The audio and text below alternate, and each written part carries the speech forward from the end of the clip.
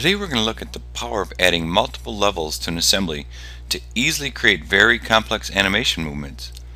You may have seen this explained in an old version of the software, but the concept is very powerful so we're reintroducing it here.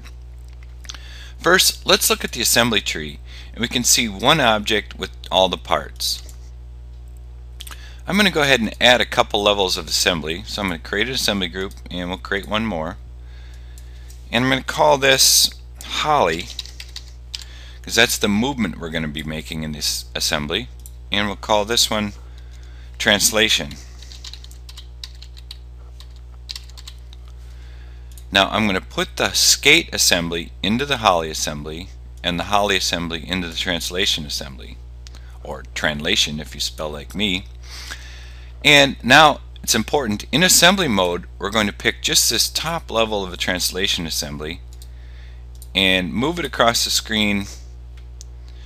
Set our time, end time about four seconds. We'll just kind of move it across the screen like that. Now, about one second, I want to start my Ollie movement, and I'm just going to set a location key for that.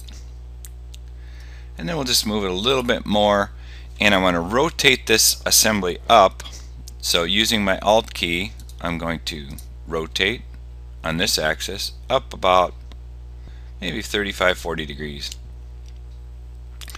I'm just going to move my timeline out a bit and I'll flatten this out by rotating it back up along this assembly. And we'll just move this timeline a little bit more.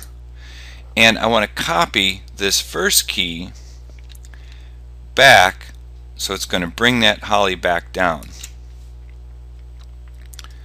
so now we have this coming up flattening out and coming down now in between I want to use the skate movement to set a location key and then in between I want to rotate back about 360 degrees. So I'm just going to click once and type in 360.